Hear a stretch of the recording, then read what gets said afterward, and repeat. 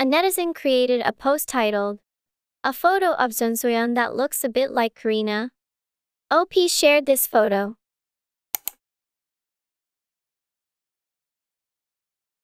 OP wrote, I'll quickly delete it if the responses aren't good. Netizens commented, Oh, you're right. Crazy. I've always thought they looked alike. That cutout is Angmu Sachanyagi. I don't know about their facial features. I think it's because they both have a pretty face shape. I don't know. Only the hairstyle and makeup are similar.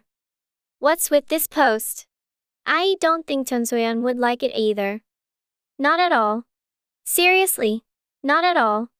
You don't know Karina's face. What are you talking about?